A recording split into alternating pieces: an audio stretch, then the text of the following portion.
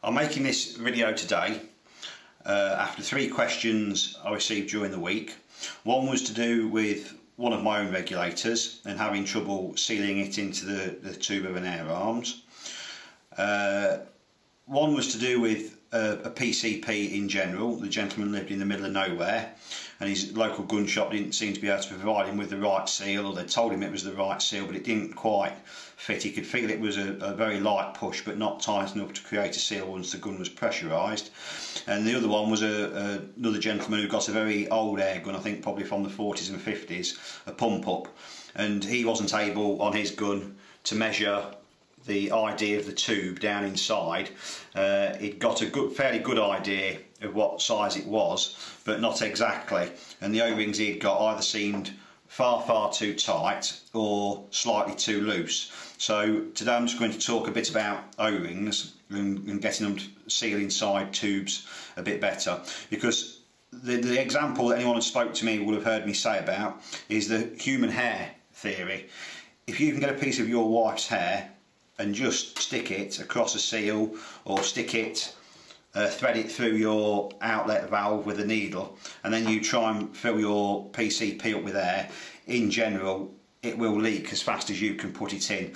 So the slightest the slightest bit of a leak it might be absolutely minuscule but the air pushing past the seal depresses the seal away from the wall a little bit more and makes the it, it's a little bit worse so if you can get the seal just to touch the wall all the way around, then as soon as it gets a bite with the air, the air pressure will push it into place and job should be a good one. So for this example, the best thing which I've spoke about a lot on the videos is obviously regulators. So this regulator is one of mine. It's fitted with the, the correct size seals and this will fit in uh, an air arms, some Hatsans uh, Brocock Enigma. So the let me, let me zero this. The case on that these are about 27.4 mil, and then the seal stick out to about 28 millimeters. The tube that they're going into, as you'd have seen on the on the advert, is nominal, which means it's sort of like the average size is quoted as being 27.63 millimeters. So this goes up and down a bit. But it's very much a, a, a fine balance between how much the seals stick out and getting it down the tube past the threads. Because obviously you don't want to damage the seal either getting it past the end lip or pushing it past the past the threads.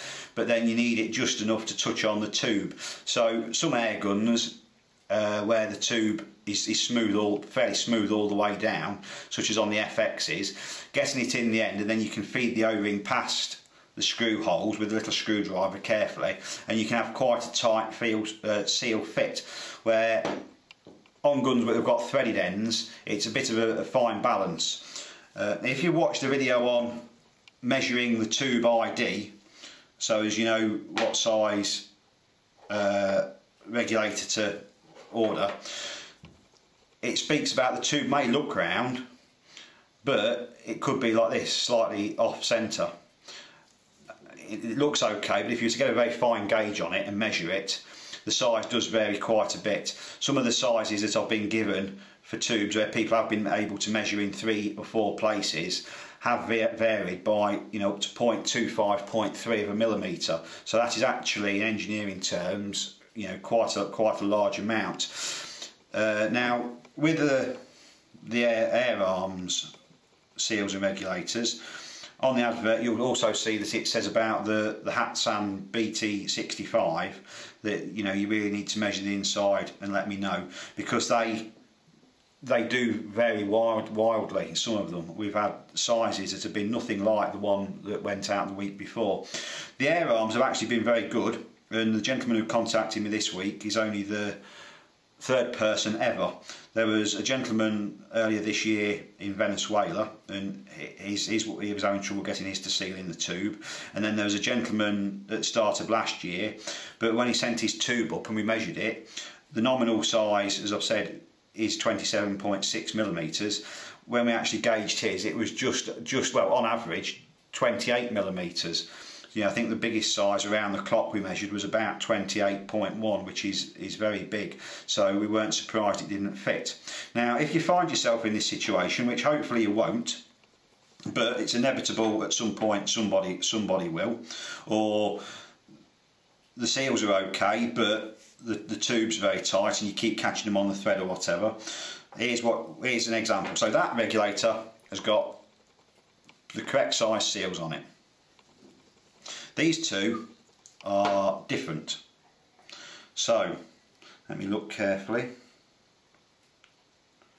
Right.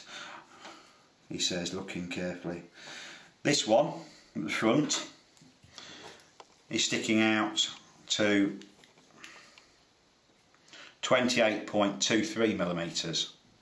So that should be enough to fit in an oversized cylinder but trying to find a, a, an O-ring big enough to do that can be difficult because it's probably going to be an odd size so what you need to do if you want to enlarge, put a slightly bigger seal on is calculate the cross diameter to the diameter so you can work out how much thinner it's going to be when it's stretched into place.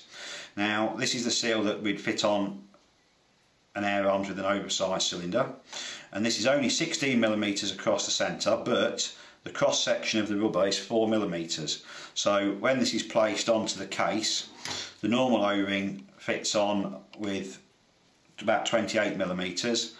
This one actually fits on with about 28 25 28.2 so that would be a fix for that.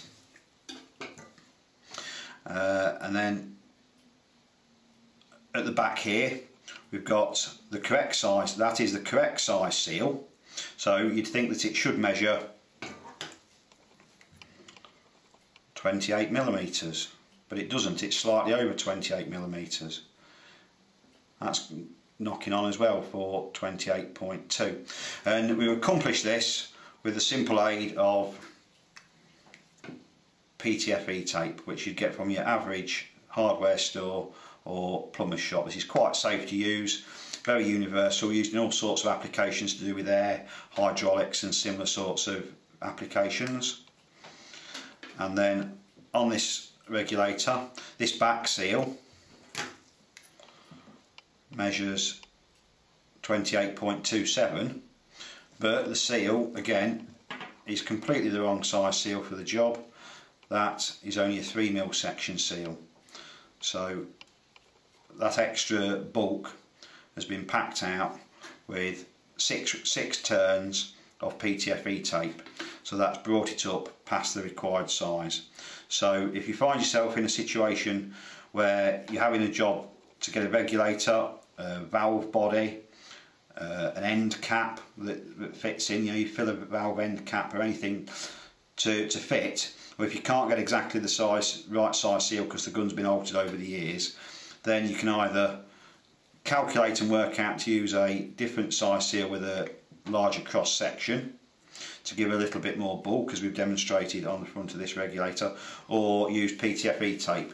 Now PTFE tape isn't expensive. I didn't know exactly how much it was, so I went out and purchased this packet last week from a local DIY shop in the UK, and that cost 32 pence.